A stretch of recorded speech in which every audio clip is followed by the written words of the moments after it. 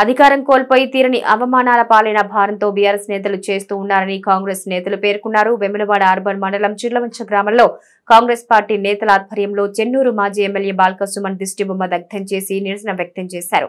అధికారంలో ఉన్నప్పుడు మీ నేత అప్పటి ముఖ్యమంత్రి కె. చంద్రశేఖరరావు చేసిన వ్యాఖ్యలు ఉపయోగించిన భాష చూసి యావత్ సమాజమే తల దించుకుందని ఇప్పుడు తమ ముఖ్యమంత్రి రేవంత్ రెడ్డి ఉన్నదున్నట్టుగా మాట్లాడితే మీకు నిద్ర పట్టడం లేదని కాంగ్రెస్ నేతలు పేర్కొన్నారు.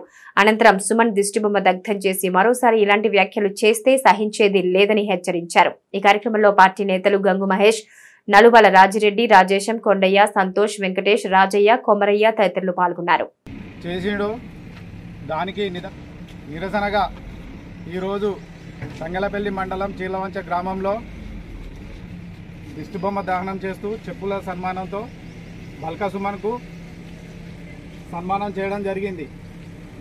ఇకనైనా ఈ అహంకార పూరిత దోరి మాటలు మానుకొని రేపు రాబోయే ఎలక్షన్లో మిమ్మలను టీఆర్ఎస్ నాయకులను గ్రామాలలో తిరగనీయని పరిస్థితి ఉంది.